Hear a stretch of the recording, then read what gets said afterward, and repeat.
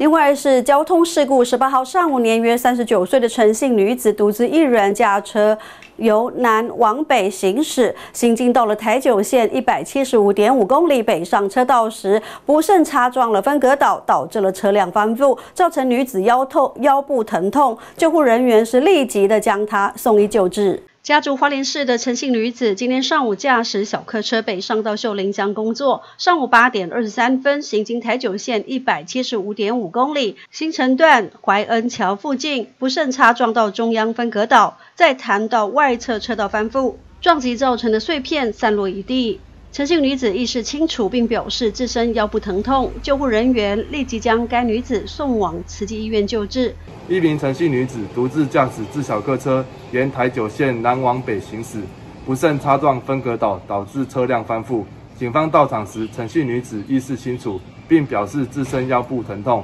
救护人员立即将该女子送往慈济医院救治。经检测，并无酒精反应。至于详细肇事原因，尚待警方调查厘清。新城分局呼吁用路人驾驶车辆时，不要有酒后驾车、疲劳驾驶、超速等违规行为，并注意车前人车动态，以维行车安全。该女子酒测值为零，持照正常，而至于详细肇事原因，尚待警方调查厘清。记者林杰，新城乡采访报道。